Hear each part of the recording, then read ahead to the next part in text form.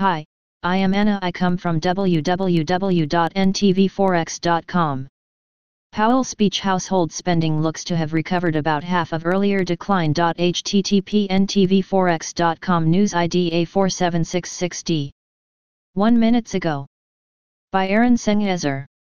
Following the Federal Open Market Committee's FOMC decision to keep the policy rate unchanged within the target range of 0.25%, Jerome Powell, chair of the Board of Governors of the Federal Reserve System, is delivering his comments on the policy outlook.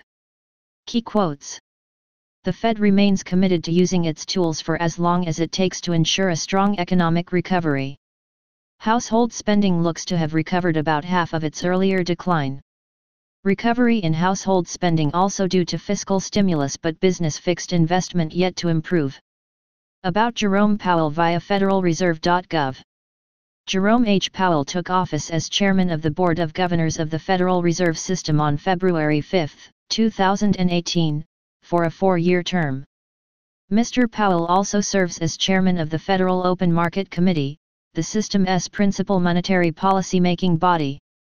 Mr. Powell has served as a member of the Board of Governors since taking office on May 25, 2012, to fill an unexpired term he was reappointed to the board and sworn in on June 16, 2014, for a term ending January 31, 2028. Subscribe our channel to receive the news as soon as possible. Thank you for watching. If you want to read real-time news, text messages to MT5 Expert Advisors page at https m.me mt5.expert.advisors.